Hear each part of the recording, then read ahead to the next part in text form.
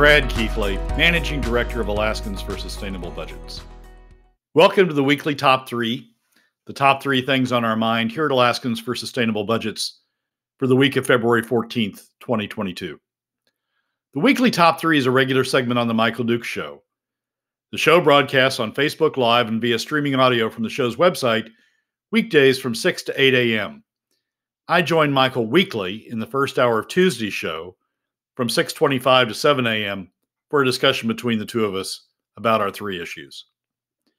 We post the podcast of our discussion following the show on the Alaskans for Sustainable Budgets Facebook, YouTube, SoundCloud, Spotify, and Substack pages.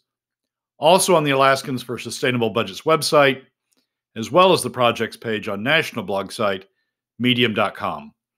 You can find past episodes of the weekly top 3 also at the same locations. Keep in mind that in addition to these podcasts, during the week, you also can follow and participate in the discussion with us of these and other issues affecting Alaska's fiscal and economic condition by following us on the Alaskans for Sustainable Budgets Facebook page and through our posts on Twitter. This week, our top three issues are these. First, we discuss the significance of the ongoing increase in oil prices to the Alaska budget. At the levels projected by the futures market, the FY23 budget now balances at a full statutory PFD. Second, we explore, now that the budget is within range of a full PFD, how various interests are emerging from the woodwork to spend that increased revenue elsewhere. And third, we explain our significant concerns with the governor's recently proposed renewable energy program. And now, let's join Michael. Let's talk about the the weekly top 3 starting off with this projected fiscal year 23 revenues now a billion dollars above and beyond what the fall forecast says. And what but what does that really mean? What does that really mean when it's all said and done? So the fall forecast was predicated on uh, 71, the traditional revenue side of it was predicated on $71 oil, which at the time seemed high, uh, but has gone much higher since. Uh, the futures price for uh, average futures price now for 2023, fiscal year 2023, uh, has jumped from the $71 included in the fall forecast up to $87, $16 higher. Um, uh, uh, and and that higher runs across runs across the board. Uh, the now the ten year uh, future strip is now higher than the fall forecast all the way through uh, the end of the ten years. Not that much higher, not as not sixteen dollars higher, but but but higher across the board. That translates into unrestricted general fund. The, the, the effect of the higher oil price coming through on the royalty side and coming through on the production tax side uh, uh, results in higher traditional revenues. In fact, it's a substantial jump uh, from the 2.6 billion dollars forecast in the um, in the FY23 uh, fall forecast and, and what the governor's FY23 budget is predicated on, from 2.6 billion dollars in traditional revenue. That $16 jump from 71 to 87 dollar oil uh, results in jumping the uh, uh, the traditional revenues, traditional UGF revenues, to 3.7 billion dollars, more than a billion dollars higher uh, than the than the uh, the traditional revenues included in the fall forecast and on which the the budget's based. That translates through in terms of in terms of how the budget looks uh, from a deficit, uh, at current law deficit, uh, counting the, the PFD at the statutory levels, uh, that was inc- uh, a deficit that was included in the fall forecast. The fall, the FY23 budget using the, the current oil price now balances. there's $4.6 billion, $3.7 billion in traditional revenues, current law uh, has the uh, the portion of the POMV draw that goes to the general fund uh, as as what's remaining after the statutory PFD is taken out. That's how current law works. Six hundred million dollars from uh, the uh, the POMV that that goes to government, and then the governor threw in another four hundred million dollars from uh, from federal federal revenues, COVID revenues that can be used toward uh, uh, can be used toward uh, state spending. That jumps the budget or the the, the revenue side from significantly lower, from about uh, 3.7 billion dollars, 3.5 billion dollars in the fall revenue forecast to 4.6 billion dollars. So the budget, the current law budget, full statutory PFD now balances based on the higher oil prices. That doesn't continue through the 10 year forecast. There continue to be deficits, current law deficits, uh, uh, in the budget uh, from FY24, FY24 through the uh, through the end of the decade. But the FY23 budget at least balances. So there's it's a significant impact. Uh, those higher oil prices are having a significant impact uh, on the on the FY23 budget. Now, you know, we can get into a debate whether those high, higher oil prices uh, continue, whether uh, uh, whether there's a, a, a, reaction to the higher oil prices in, terms of, in terms of demand drop, and and that that has an impact on price as we get into FY23. But as of right now, we've jumped a, billion dollars higher, and that's a I think that's something that we ought to note uh, at least uh, uh, when it occurs, and and look at the the consequence if that oil price was realized. All right. Well, let's take a peek at it. I mean, I mean, I guess my main concern is this is all very. Here's been my concern from the beginning, and you could tell me if I'm off base on this or not. My concern is that this is all very short sighted. We see it in the short term. Oh, look, we're going to be well, but it's in the year three and four and five that all of a sudden we're going to be right back to where we were again, fighting it out and duking it out over the PFD. Yeah, well, and and, and as and as we'll get into in the second segment, we're going to duke it out this year because now with this additional cash, everybody's got ideas on how they can use that additional cash, which will which will unbalance the budget again, and and as as as the legislature has been doing since 2017, uh, uh, take it out of the uh, take it out of the PFD. So we're going to duke it out this year. Uh, but at least as of it, it's it's worth noting, at least as, as of this 10 seconds, uh, the budget is uh, uh, is imbalanced. The, the current law budget is uh, is imbalanced. But you're exactly right. I mean, you go to 2024, even at what the current what the futures market is telling us about oil prices. Uh, 2024, there's a 400 million dollar deficit. 2026, 700 million dollar deficit. 2027, there's a uh, uh, uh, an 800 uh, million dollar deficit. So it's so we're we're looking at deficits um, all the way all the way through the remainder of the decade of some substantial size. This is this is an aberration. This year, FY23 uh, is an aberration in terms of in terms of the impact. Um, it's because oil prices decline. I mean, the futures market is saying that oil prices decline after uh, FY23. Um, so this year is an aberration, and, and we do duke it out in in future years. But and and but we're likely going to and we're likely going to duke it out this year because of people uh, talking about increased spending. But at least uh, at this point in time, uh, oil prices have have have have increased enough uh, that we've uh, that we've found temporarily, I guess, a, a balance on FY23. All right. Well, I know you wanted to do some. Uh, I know you wanted to probably so sh- show some charts and stuff. Which, luckily enough, I do have uh, the chart that you included in your uh, uh, in your message to me, so I can put that up on the screen if you want to discuss that, the comparison of traditional revenues, and I'm ready to do that whenever you are. So proceed ahead. Well, it's um, uh, that chart shows uh, the traditional revenues at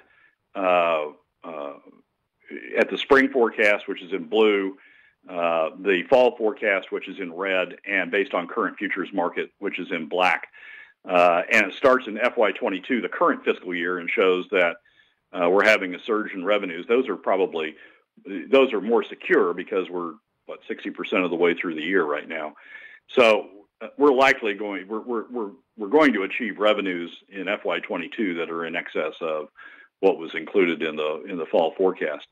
Uh, what I've been talking about is FY23, which is the next uh, uh, the next slide over, and that's or the next uh, uh, piece over, and that's uh, that's where the 3.7 billion dollars in projected revenues, tradition or traditional revenues, now shows up, compared to the red, which was the fall forecast of 2.6, and the spring forecast, which was 1.9. on at the oil prices, and you can see that uh, the $87 oil price for 2023, and then see the decline in oil prices that the futures market is projecting down to $80 in FY24, 77 and 25, 75 and 26, and so on, which results in declining uh, traditional revenues, which, op- as I said before, opens back up uh, deficits in the uh, in the projected budget that uh, that the governor did, the projected 10-year forecast. But right. but we we are better off uh, through all those years based upon the current futures market, and we're in balance uh, again, just probably temporarily, but in balance uh, for FY23. Well, and again, that's good. Um, long and shorted here, there for me though, Brad. Where does it? Where do where do we end up when it's all said and done? I mean, how does how does this end? I guess is what I'm saying. well, we're going to talk about some of that in the second segment, Michael, uh, because we're going to talk about the people who now want that money, uh, the increases that are uh, people uh, coming forward and asking for increases. Um, so it's going to it, uh, what it leads to is now requests for that money. and and people having ideas about like Les Gara's defined benefits program, um, and uh, and other things. Uh, people now uh, coming forward and saying, "Well, if we got all this extra money, extra compared to what we would proje- what we had projected, uh, then uh, then I've got a place for that." Um, and so we're going to talk. We're going to talk about in the next segment what happens uh, as we start talking about these additional requests for money. Where is it coming from? Whose pocket is it coming out for? Right. Out of who's who's going to pay? Uh, uh, as we get into uh, as we get into the next phase of this. All right. Well, before we jump into number two, then let's finalize. Let's go back one one quick click here. Then back to number one, talking about all these new revenues projections and the billions. How much of this is how much of this is accounting voodoo? How much of this is you know is is moving stuff around in the right way and how much of it is is you know I think real and, and and I guess for true. And if Brad was the one that was writing these projections, how different would they look? Well, I think the projections are pretty good. I mean, the projections are our Department of Revenue's forecast of revenues at certain at certain oil price levels, traditional revenues at certain oil price levels, and and and the real the soft spot uh, in in all of that is whether the futures market is accurate, accurately predicting what the what the revenues are going to be or what the oil prices are going to be. We know that oil prices will differ from the from the futures market, but we don't know how much, uh, and we don't know. Frankly, we don't even know in what direction. So so this is sort of a a, a, a, a look in time, uh, a, snapshot in time of where we are uh, if the futures market uh, oil prices were uh, were were realized over the next fiscal year and over the subsequent uh, 10 years. Uh, that's the soft spot. Uh, whether whether the market whether the oil prices actually achieve those, there's not there's not much moving around uh, other than that. If Brad were doing this, Brad would be looking at uh, at a at a smoothing of oil prices, a smoothing on the revenue side, consistent with a spending cap on the on the rev- using a revenue based spending cap uh, that would say, you know, we can't count on the futures market at any given point in time. We're going to look back in history a little bit, and we're going to smooth uh, smooth oil prices over time. So, uh, taking into account the lower oil prices from earlier years, we would have a lower we, we would we would have a lower revenue projection or a lower revenue base that we were using for budgeting. But right now, right now, the governor's using, the legislature's using uh, projected prices, projected oil prices for uh, for their uh, uh, for their budgeting, and and so the, those projected prices that they're using, which is based on the futures market, uh, is, uh, moving in a positive direction and, uh, and, and, and moving in a substantially positive direction. Harold uh, in the chat room, always one to stir the conversation up. Brad says, "Where does the flat tax fit in all this now?" Because it's all. Oh, there's still there's still deficits, Harold. I mean, there's deficits yeah. deficits in FY24 out to the out to the end of the decade. Yeah. Um, and if we want to, if we want to have uh, continued spending, which evidently you know the legislature wants to do that, and we want to have uh, statutory PFDs, uh, there's deficits that have to be filled. There you go, Harold. Mission accomplished. You got him to say flat tax. That's what it is. Uh, if that's what we want, and, and I think that's the big thing here, uh, Brad, is if it is what we want, and I think more and more You know, most people don't want new revenues. They want the spending to be controlled. Unfortunately, we got a bunch of yahoos in there who basically just say, "No, we're going to do it our way. We're going to do we want to spend and we're going to protect the government spend no matter what it costs the rest of the Alaskan economy." Well, you know, we had that test in 2019. I mean, the governor the governor proposed uh, the deep spending cuts, uh, and we had the the pushback in the legislature. You know, he, the governor couldn't even get 16 to support it to support the the spending cuts uh, uh, that that he proposed. He ended up with much smaller spending cuts, which we've since lost through spending increases elsewhere. Um, and the governor's not the governor's not even proposing spending cuts anymore. So uh, significant spending cuts anymore. So it's uh, I mean we we had that moment in time where he tried in 2019, couldn't even get 16 legislators to back him up, 16 out of 60 to back him up, uh, and and that moment in time seems to have passed. You know, I often think about, well, Mike, what would you have done if you were governor? And you know what? I, I got to say, I think I still would have stuck with it. I think I would have. I mean, that's what I promised. That's what I said I was going to do, even if I was going to be only a one term governor or maybe even less. Maybe the recall continued, although I think the recall didn't have a chance in the long run once COVID hit. I think I still would have proposed. Uh, I would have stuck to those and and proposed in reducing budgets. That would have laid it all at the legislators' feet. I mean that they they would have been the ones that had to live with that. And uh, I mean, I I really think that that should have been done. Yeah, he ran. He, I mean, he he at, at that time the administration with Tuckerman as chief of staff. Uh, he was, I think, he was prepared to push it through.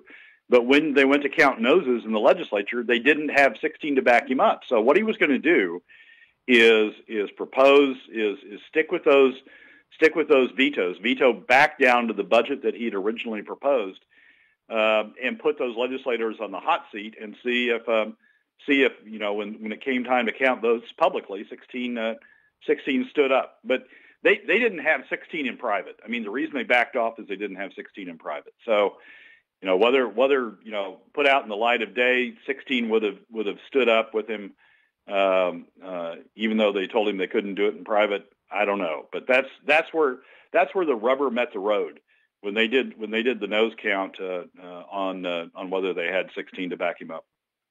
Well, I think, and I'm going to start off with this as we come back from the break, but Kevin McCabe nails part of the problem. He says the problem is we never get visits or emails from people who want us to cut the budget to limit spending. All we ever get is visits or emails from people who want more, more, every day, all day. And, um, I mean, they are active. I will say it. They're active and they are out there. And uh, I think that that is part of the problem. We're going to talk about number two, which, of course, is now that we've identified the fact that there's going to be surpluses and all this money, people are going to start coming out of the woodwork. We were just talking during the break about how there was no political will, it seemed like, to cut, that we want the budgets to be cut, but maybe not anybody else. Kevin McCabe, uh, Representative McCabe, says the problem is we never get visits or emails from people who want us to cut the budget, to limit spending. All we ever get is visits or emails from people who want more, more, every day, all day and we're about to see more of that, right, Brad? I mean, that's kind of the that's kind of the business as usual aspect of what we're seeing.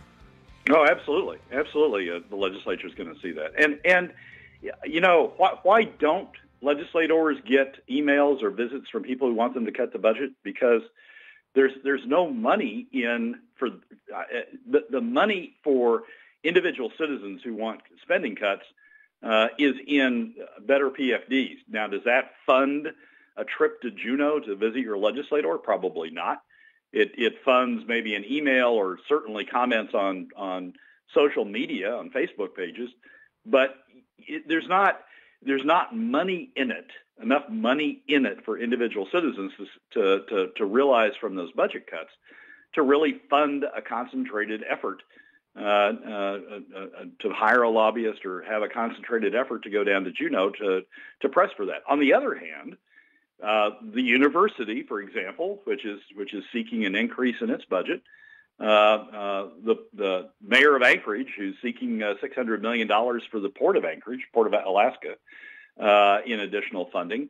there's money in it for those people. I mean, if they can go down and they can get legislators to to to grant them the money, it's well worth the small investment or the investment of spending the time and and you know hiring a lobbyist and spending the time to go down to Juneau to press for it. So it's the, the incentives the incentives for those who want spending cuts don't translate into let's go to Juneau. I mean that's one of the things about about having the capital in in Juneau as opposed to Anchorage. If it was in or, or in, in South Central, if it was in Anchorage or somewhere else in South Central, people might get in their cars to go visit the legislators, right. to drive to the to the to the legislative office building to to go visit the legislators to to press for that. But but that's not. I mean, the setup we have now is you have to go down to Juneau to press for it, uh, and the incentives are only for those really work only for those people who are seeking additional funds uh, and who have the money to hire lobbyists who want the additional funds enough to uh, uh,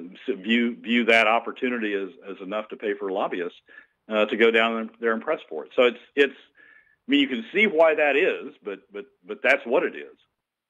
Well, and I think that's been again that's why it's number two on the charter of changes. And I was arguing yesterday maybe it should be number one that the legislative session should be on the road system.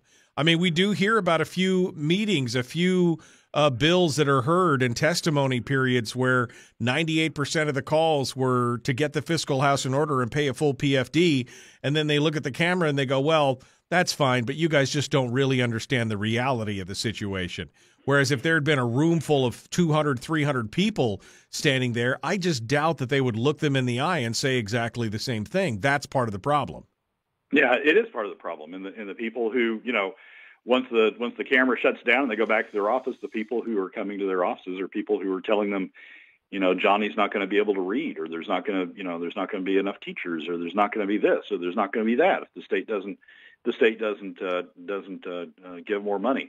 I mean, that's that's that's what's going on right now. The University of Alaska has has pressed forward uh, for more money than uh, than the administration uh, than the administration proposed. Not only did Governor Dunleavy not pursue the third year of spending cuts uh, that he had originally agreed with the University of Alaska. The, the administration itself has proposed increased spending for the University of Alaska uh, in the FY23 budget.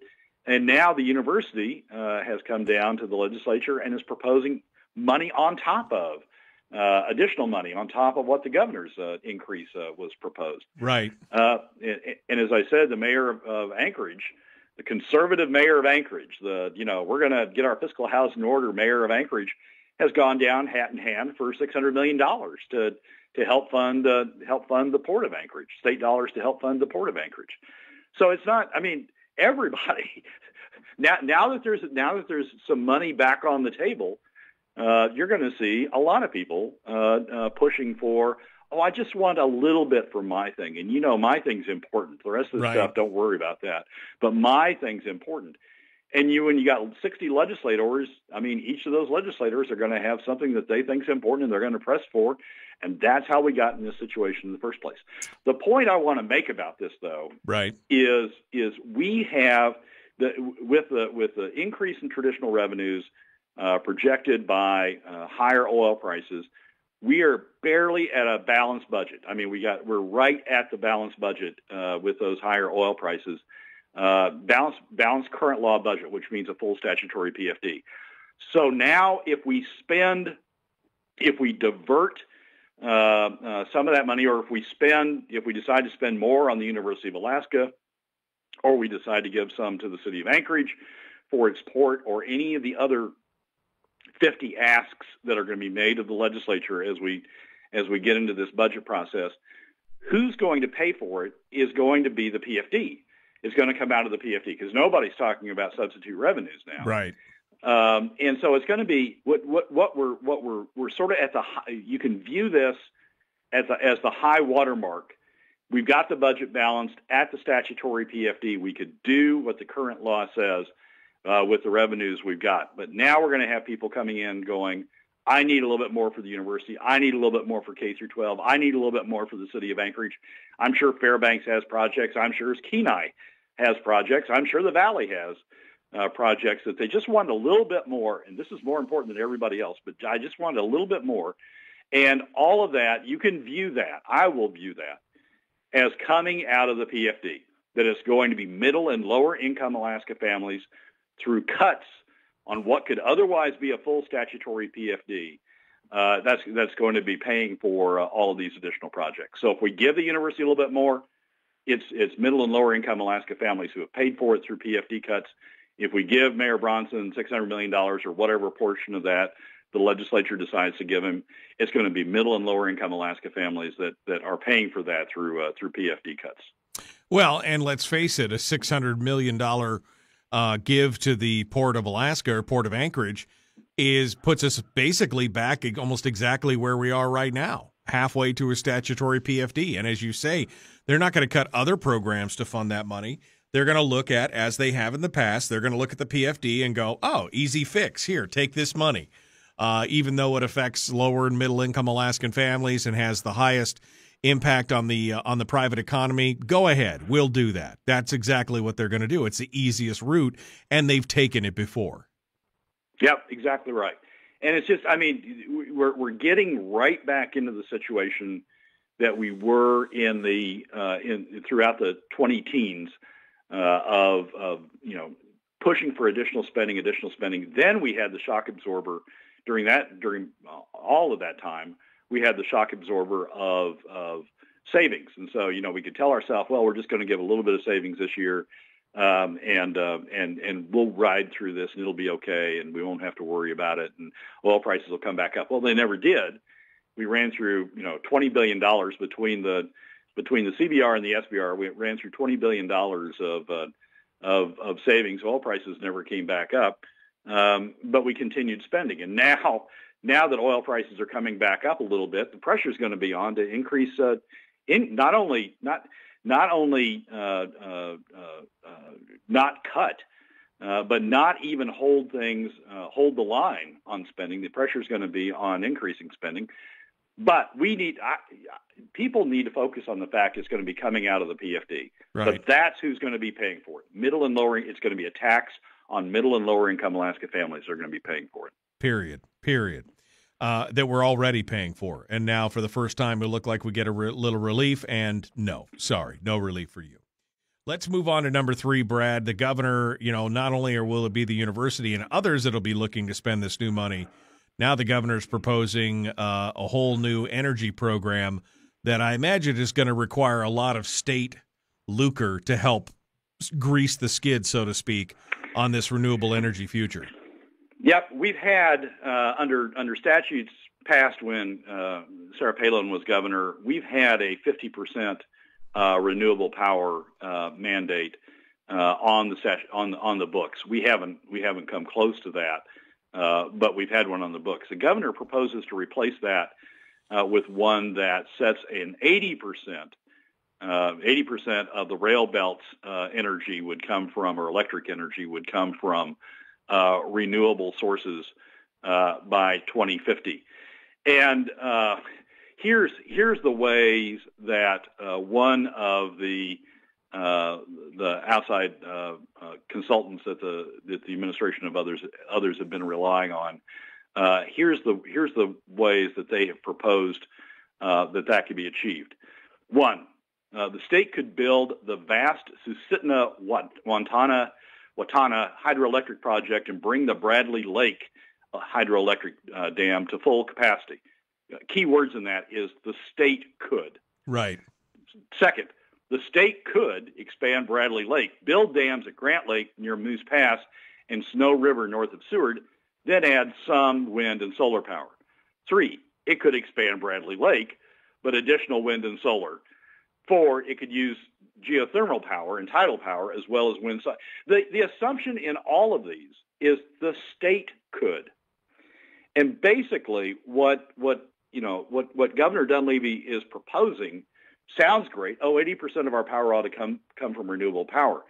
But what, what that essentially is saying is the state ought to fund additional renewable projects, primarily the hydroelectric projects, the state ought to fund additional renewable projects uh, and recover uh, and uh, and and get to the renewable achievement that way, not through private sector investment, right. not through not through market forces, but through state subsidies. And and, and you know the the, the statement 20, is well, 30, if we build all the, if we build all these capital projects, the operating costs will be lower uh, of these projects, and so the and so the energy cost to consumers will be lower. Yeah, but it will have cost us a bunch of upfront money to be able to right. do it. How much is the original investment going to be? That's the big thing. That's the big thing, Brad. Oh, okay, great. It'll be cheaper to operate. It'll be cheaper for us to have, uh, you know, it'll be lower energy in the long run. But nobody's talking about the initial investment that's being made with state dollars in the end. Oh, a lot of people are talking about it. Those, Well- those people who, who who would get contracts to build those things. Yeah, I mean, exactly. Yeah, Kevin. I, I mean, if Kevin McCabe's still on, Kevin, you're going to get a lot of visits from people who will say this renewable energy bill is a great thing because wow, look at all this. You know, if we just spend a few billion dollars here and a few billion dollars there on capital projects, we'll have these lower operating costs going forward, and the cost of power will go down. Well, yeah, Right. And you'll be stimulating the economy, right? And you'll be creating Oh, yeah. jobs. I mean, you know, all these I mean, it doesn't matter that they're that they're short-term jobs and it doesn't matter that the cost of investment will far will never, you know, be paid back, but other than that, there you go. And whose pocket whose pocket will it come out of? Once again, it'll be through PFD cuts because nobody's proposing a broader base substitute. It'll be PFD cuts. It'll come out of the pockets of middle and lower income Alaska families. And and they'll go to Kevin's office and they'll tell him all the great things it's going to do. Um, and and you know it's really to the benefit of Alaskans, so it's okay if we take their PFD uh, to be able to uh, to fund it because they'll get the benefits of that. And it's just i mean it's just it, we have we have eisenhower called it back in the day the military industrial complex. In alaska we have the government contracts uh, uh, industrial complex Right. uh, going on i mean everybody everybody's got an idea about how they can spend state money nobody can raise it privately everybody's got but everybody's got a great idea about how they can how they can spend state money um, and it just needs to it, it, it's just a little bit out of the pockets of of middle and lower income Alaska families. Well, that's exactly it. I mean, it's the crony capitalism complex that we have here in this state, whether it's uh, places like GCI with all the telecom money or the Association of General Contractors who are loving the fact that they want to build a new school building every 12 years or whatever it is. It's all these different it's all these it's all these different people that love to go down there into the legislators' offices and tell them why it's such a good idea to spend all that government money because they're the ones that are picking up the contracts for it. Yep, exactly right, Michael. And and and you know, back to Kevin's point, the middle and lower income Alaska families that are getting hosed through PFD PFD cuts to pay for all this really don't have a voice in the pro- in in the process because you know they can't get to Juneau to to you know compete uh, uh, on a on an equal footing basis with the lobbyists and with the uh, with those uh, who are seeking the money. So it's a it's a mismatch uh, in terms of lobbying power, in terms of persuasive power. Uh, uh, the only the only pushback the only pushback that the ordinary citizen has is at the is at the voting booth. Right, right. Well, um, I this goes right back to the charter of changes, changing out the players and changing the venue and doing all that, uh, doing all that stuff. Um, is is, but I mean that's kind of where we're at. We we've got to get back to that because otherwise we're going to just be faced with more of this and more of this and more of this uh, as we continue. It'll be business as usual all over again. Yeah, I mean we, we see we see that we see that oil prices are up. We see the benefit of that to Alaskans in terms of being able to achieve uh, at least for one year a balanced budget, a balanced current law budget. Uh, but but all that's really doing, all those higher oil prices are really doing is activating the swarm to go in and say, oh no, I can spend that money better than than you know mom and pop Alaskans can. So give me that money. Uh, increase increase as opposed to cutting the university as as the governor originally proposed. Give me give me not only the increase the, the administration's proposed, give me an additional amount uh, on top of that. Give me six hundred million dollars to the port of Anchorage. Give me this and that uh, for various other projects uh, throughout the state, and and and we'll be good steward. We'll we'll spend that money well. It'll really benefit uh, Alaskans well, as opposed to letting the money flow as the current statutes provide the pockets of middle and lower income Alaska families, uh, so that uh, so that through their spending they can uh, stimulate the private sector. Well, I mean, we we'd love to see it. I mean, we'd love to see real private sector stimulation We'd like to see those monies going into the hands of Alaskans instead of government picking winners and losers, which is what they've been doing, and doing such a bang up job of it at this point. Um, and uh, I mean, I I would, we would love to see that, but it's going to take again a wholesale change in how the legislature does business. And right now, uh, I mean, Rob Myers pointed out yesterday that we've, uh, in, since 2016, we've changed out two thirds of the legislature. Unfortunately, we haven't changed out the one third that seems to matter at this point. Yeah. Uh, we haven't changed the chairman of the Senate Finance Committee. yeah, exactly. We, we, haven't changed the chairman of the, of the House Finance Committee. I mean, it's we, yes, we make changes, but but those changes, once they get down to Juneau, don't translate into changes in the power structure in Juneau. Right. Um, and and that's that's the disappointing part of it. I mean, that's um, I, I, remember uh, uh, Bert Stedman had been chair of Senate Finance up until 2012. In the election of 2012, a bunch of new senators came in, replaced him as chair. Uh, but it didn't.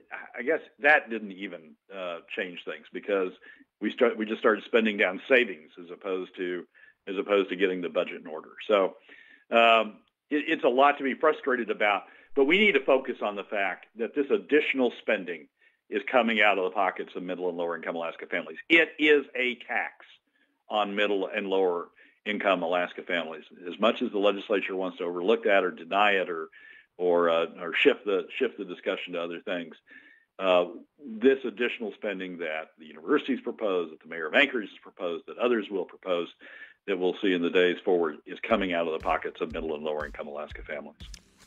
Well, Brad, as always, thought provoking and irritating at the same time. Congratulations. You made it happen. So we appreciate well, it. Thank you, my friend. Michael, as always, thanks for having me. All right. Appreciate you coming on board. Well, that's a wrap for another week's edition of the weekly top three from Alaskans for Sustainable Budgets. Thank you again for joining us. Remember that you can find past episodes on our YouTube SoundCloud, Spotify, and Substack pages, and keep track of us during the week on Facebook and Twitter.